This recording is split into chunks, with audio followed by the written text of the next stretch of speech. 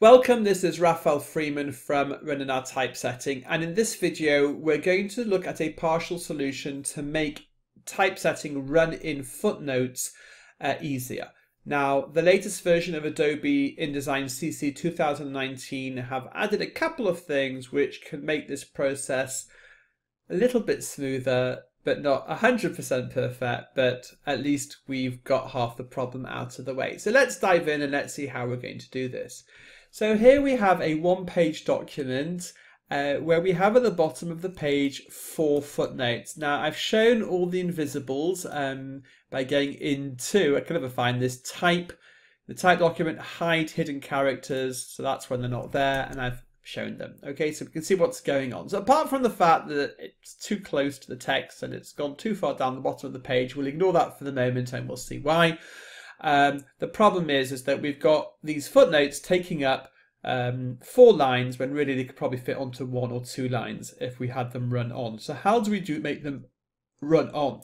Now I have already carefully set up my document footnote options for all the settings that I want to make it look nice. And I've also set up my EndNote options to make them all look nice the way that I want, okay?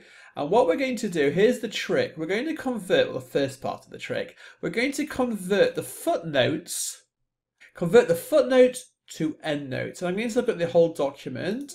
And what it's now done, I press done here, I can now zoom out and go to the end of my document and I now have my endnotes um, now as endnotes. I'm going to get rid of the word endnotes. I don't need that.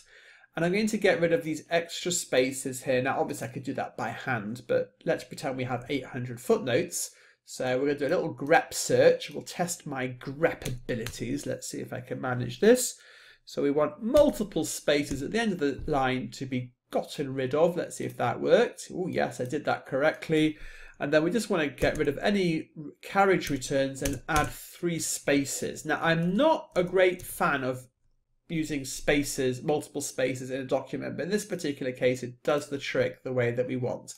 So now the endnotes are looking the way that I want. And here's the important thing. We take the endnotes, highlight them all, don't copy, but we're going to paste. Now, before I do the paste, I want to jump to page one. On page one, I'm look at the very last one.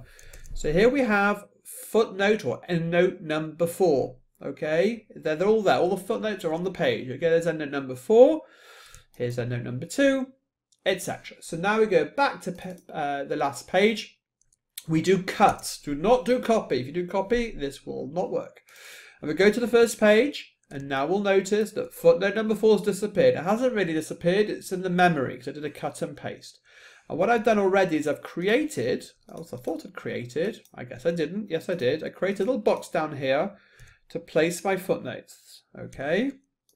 And I'm going to place them now at the bottom of the page. The moment I paste my end notes, these are end notes, not footnotes, then the end note references come back into the box. And now we have solved the first part of the problem. So now here comes the fun bit.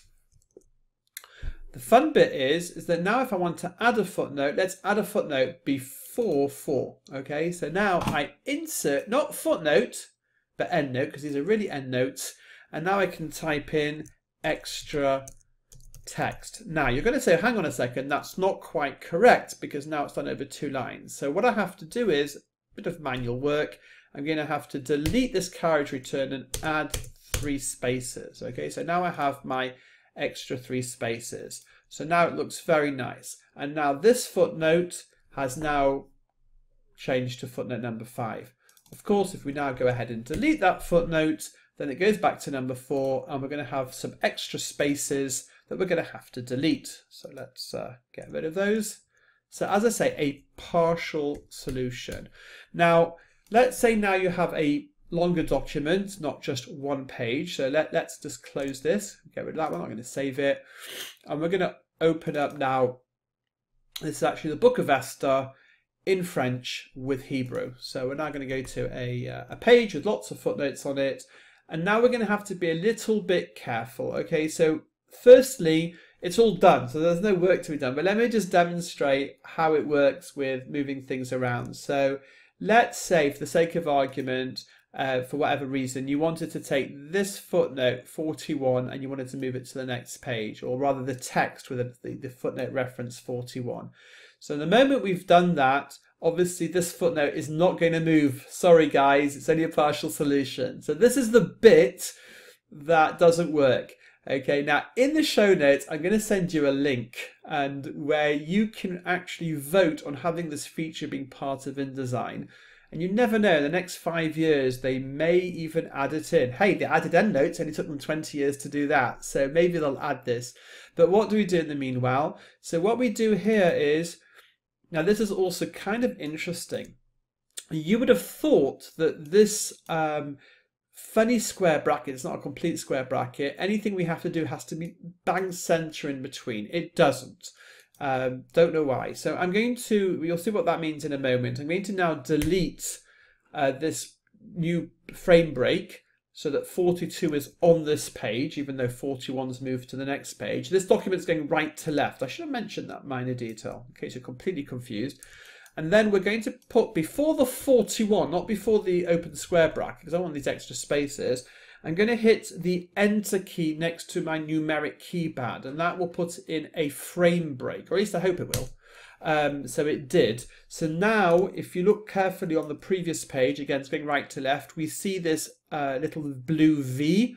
Okay, so that's a frame break, and now 41 has gone on to the next page uh, to match uh, the new position. So the positioning of the footnote, I'm afraid, does have to be uh, does have to be placed manually, and that is a pain. Uh, but at least if we delete a footnote, then everything gets renumbered. So just for fun, just look on the page 375. That's the left page, the verso. We've got three uh, footnotes. I'm not even going to try and pronounce this, although I actually have an idea. This is Megillah, this is Targum, and this is Masat Moshe. Um, that's the Hebrew way of saying it anyway. And so what I'm going to do is I'm going to delete 41, and what will happen is, is that Megillah at the bottom will change now to 41. So Megillah 15a will change to 41.